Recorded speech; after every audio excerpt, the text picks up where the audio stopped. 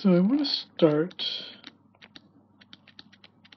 this last part of chapter 3 by talking a little bit more about comparative statics and why we do it. So, comparative statics, the usefulness of it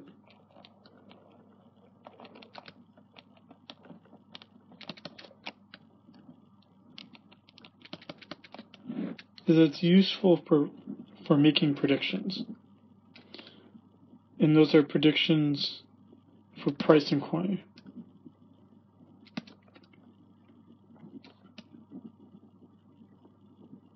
Okay, so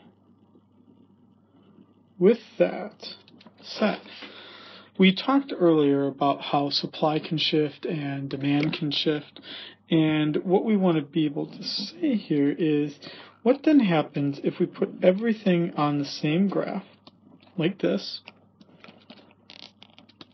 and we see our equilibrium price and quantity, like this.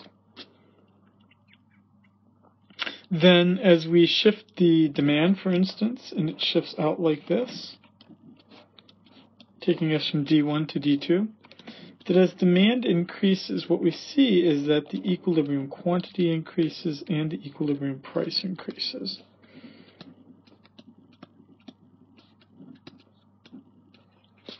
Now, what could cause demand to increase? This could be increasing because the population is going up. This could be increasing because the income is rising and this is a normal good. It could be going up because the substitute good price is increasing, or it could be going up because the complementary goods price is falling. It could also be going up because the future price is expected to rise.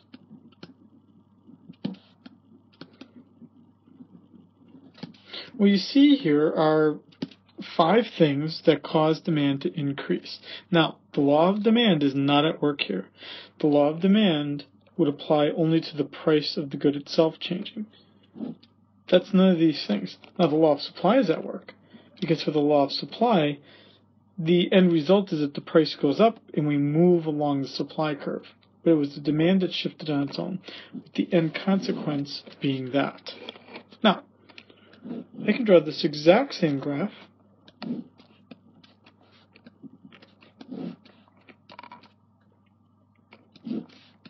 and instead now I can have the supply curve shifting out. Let's call it S1, S2. And now what we would see is that my equilibrium price falls and my equilibrium quantity increases.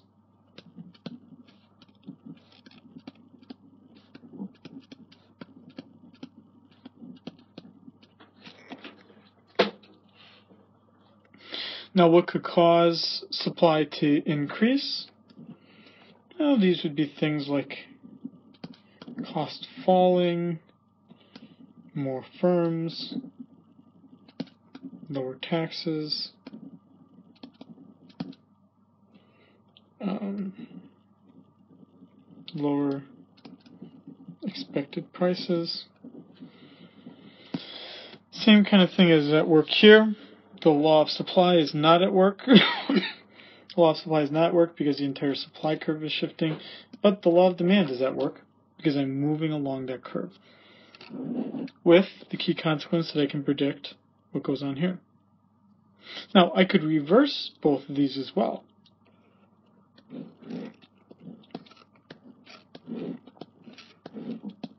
What if I had my demand curve decreasing?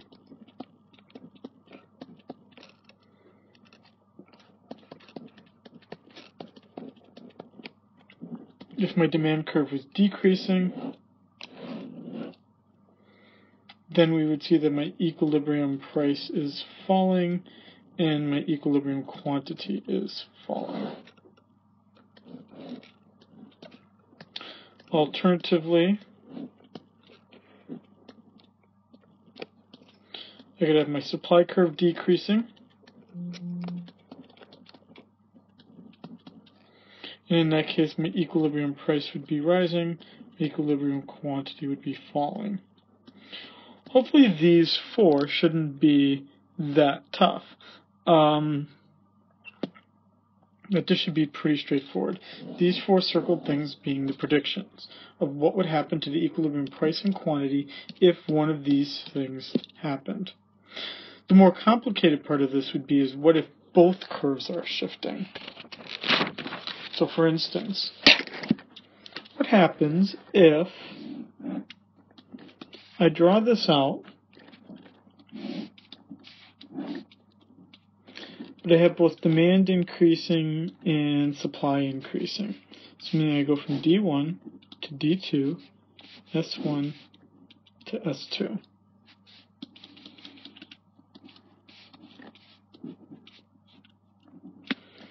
Looks like my equilibrium price is staying the same and my equilibrium quantity is increasing. So this may be where it's useful to draw things in different colors so that things don't seem uh, too confusing. But in this case, if supply and demand shifted the same amount, this would be the result. Now, this is very important that I shifted them the same amount. It wouldn't necessarily have to be that way. What if two events happened? One event happening to the demand curve, one event happening to the supply curve, but the shift was differential, meaning, for instance, what if supply shifted more than demand? then it would look like this.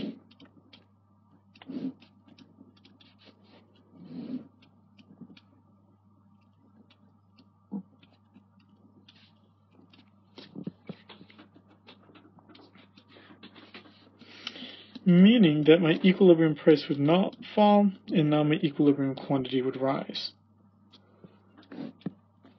What if demand shifted more than supply.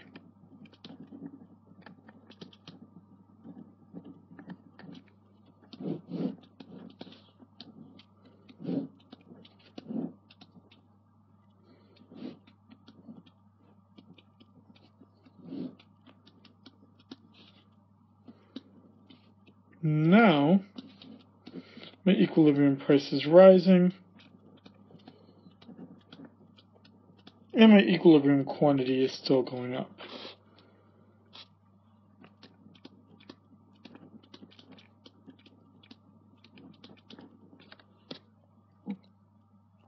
Now, three different scenarios of how much it shifted, like which one shifted more than the other. But in all three scenarios, notice what happened to the equilibrium quantity. It all they increased in all three cases. When the same, when you have two curves shifting,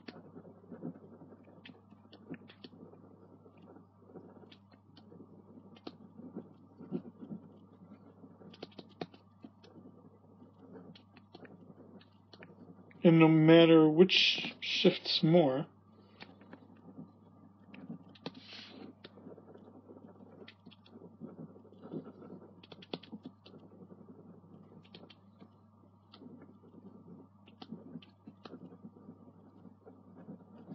One of these variables will be unambiguous, meaning that we know with certainty what will happen. And in this case, it is quantity, because no matter which one shifts more than the other, the quantity always goes up. But the other variable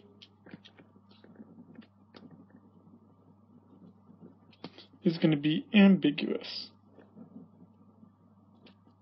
meaning that there's some uncertainty. And that's what we see with price.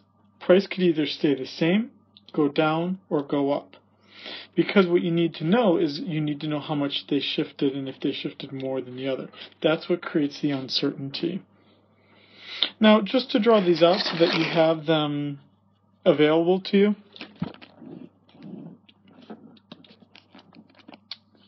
I could draw this same graph.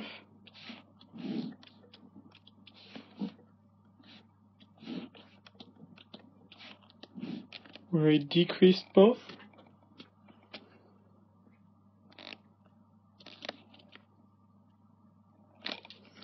Now, equilibrium quantity will always fall. Equilibrium price will be basically ambiguous. That's how you determine which one will be ambiguous. Shift them by the same amount. The one that does not change will be your ambiguous variable. Because alternatively,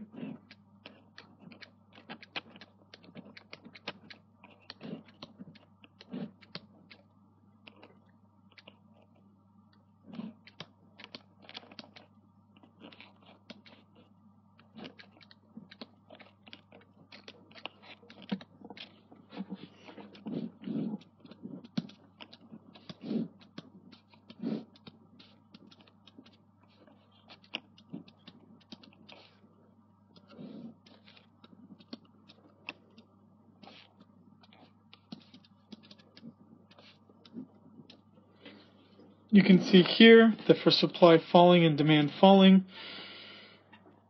I've been able to create a scenario where the equilibrium quantity was always falling, equilibrium quantity was always falling, but here my price was falling, but here my price was rising. I could also do it where supply was going up, but demand was going down.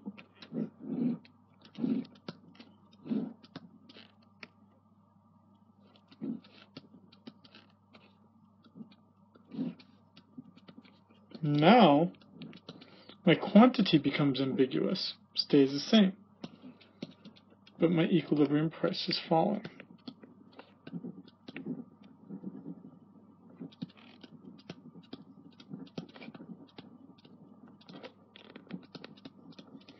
Which would mean that I could then add the other two graphs here, and I'll do that very quickly here, so that you can see it being done.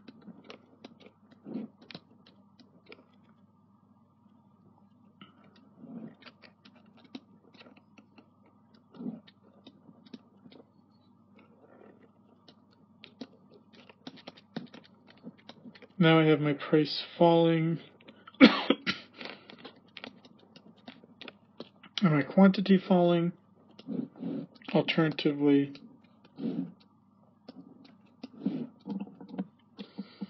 I could have it where D1 supply one where I'm shifting this a little bit.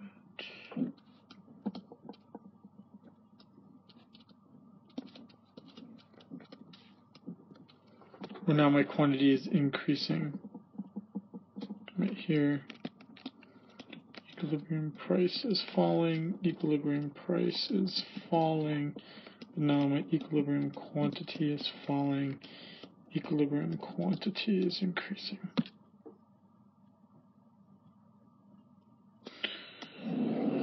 Alternatively, we could have my demand falling, or sorry, my supply falling, my demand rising.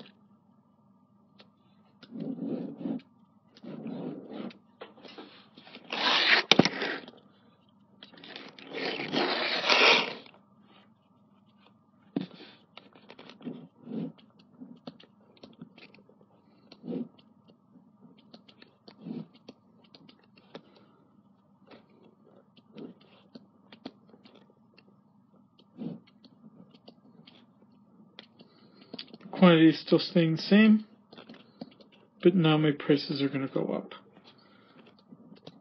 Equilibrium price rises, equilibrium quantity is ambiguous.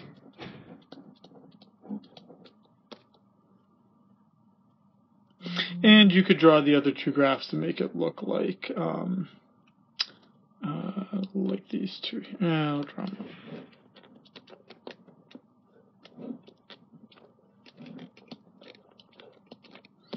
Right, and uh, what we would see is that as my supply is falling, First, I could have it falling by a little bit.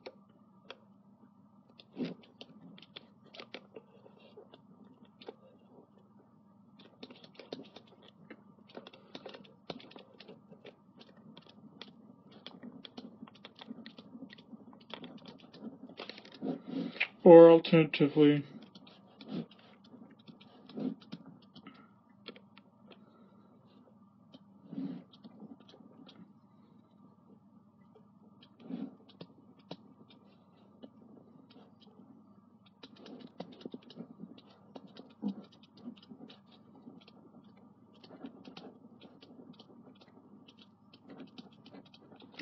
Quantity to fall.